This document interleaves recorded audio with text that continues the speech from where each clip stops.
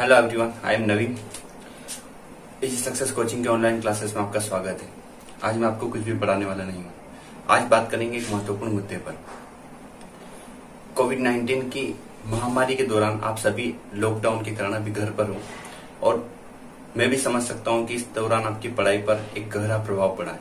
बहुत दिनों से बच्चे मुझे मैसेज कर रहे हैं कि, सर, हमारी पढ़ाई नहीं हो पा रही है। रेगुलर पढ़ाई नहीं हो पा रही है। हम घर पर पढ़ नहीं पा रहे हैं।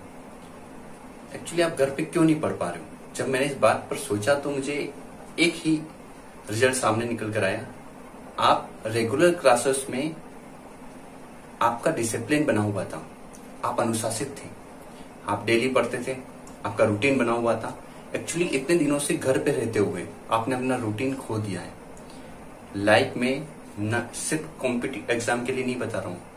पूरी लाइफ में अगर आपको कुछ बनना है और कुछ करना है तो आपको डिसिप्लिन रखना ज़रूरी है। आपको ज़रूरी है एक अनुशासन से युक्त लाइफ जीना। अगर आपकी लाइफ में डिसिप्लिन नहीं है अनुशासन नहीं है आपकी लाइफ किसी लक्ष्य को प्राप्त करने के लिए नहीं बनी है। आपकी लाइफ आपने ऐसी बना दी है जो कहीं पर भी जा रही है और कहीं पर भी मुड़ रही है। और डिसिप्लिन नहीं है, अनुशासन नहीं है तो कैसे लाइफ बनाओगे आप? आप कभी भी उठ रहे हो, कभी भी सो रहे हो, कभी भी मन पड़ रहा जब खाना खा रहे हो। मैंने बहुत सी बार एक बात दोहराई है। आज भी वही बात बताऊँगा मैं।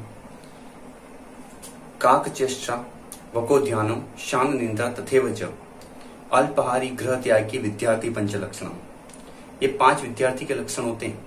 कौवे के समान चेष्टा, जानने की चेष्टा होनी चाहिए। बको ध्यान बगुले के समान ध्यान होना चाहिए आपको।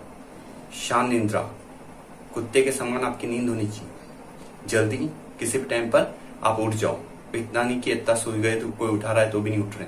आपका टाइम हो आप उठ जाओ, है ना? अल्प, अल्पहारी, कम खाने वाला और ग्रह त्यागी।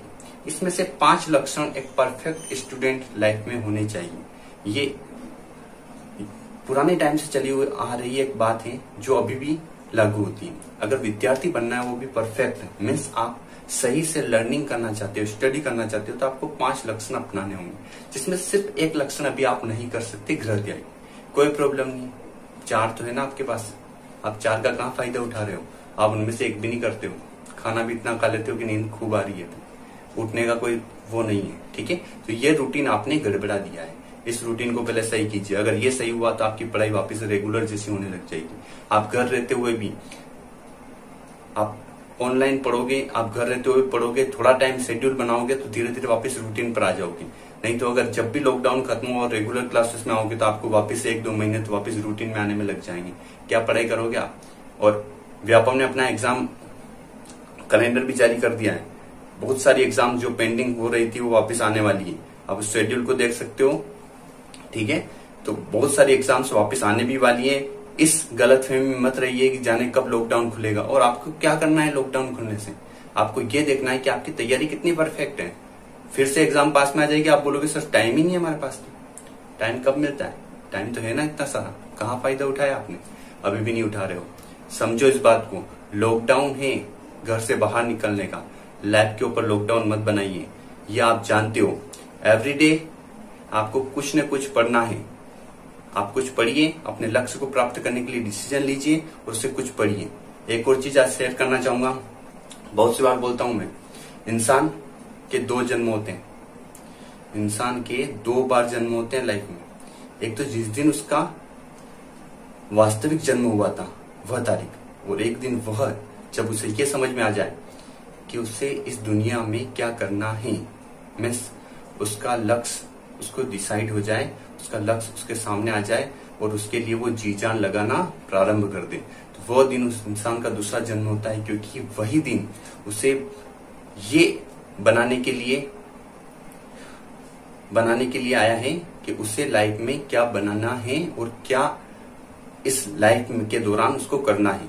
तो उसे ये दूसरा दिन, ये दूसरा जो जन्म होता है उसका, जब उसको लक्ष्य का प्राप्त होती है और लक्ष्य का पता चलता है, ये उसके लिए भी बहुत महत्वपूर्ण है। ठीक है?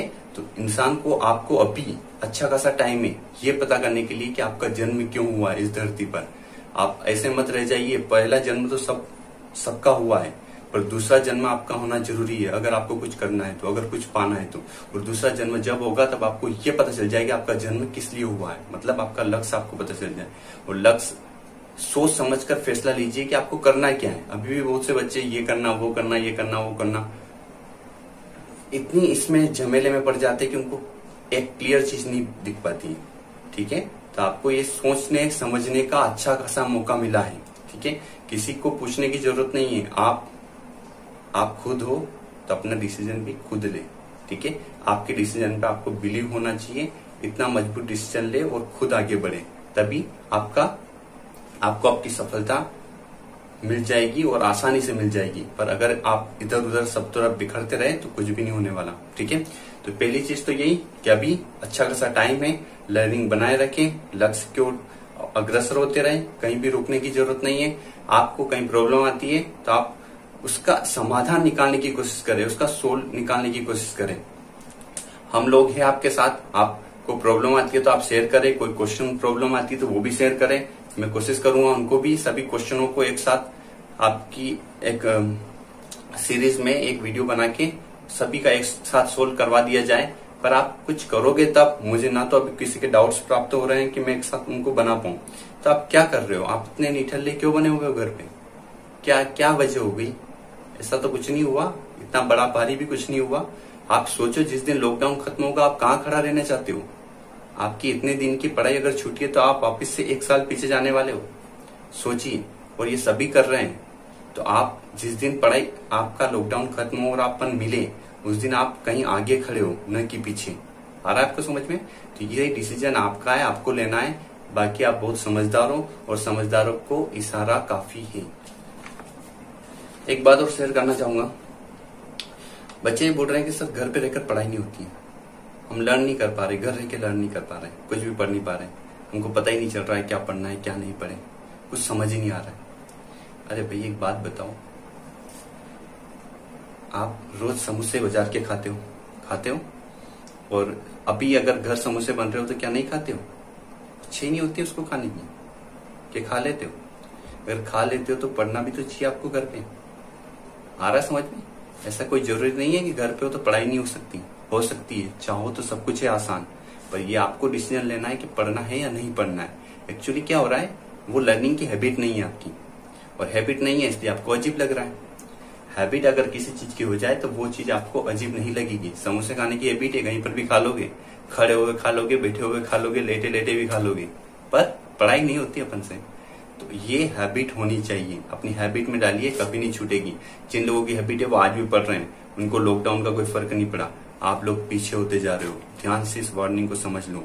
टाइम रहते समझ जाओ और पढ़ना स्टार्ट कर दू। ठीक है? नहीं तो आप उतने पीछे हो गए जिसको मैं बराबर नहीं कर पाऊँगा। ठीक है? रोज डेली लर्न करूँ जितना पढ़ाई ओके थैंक्स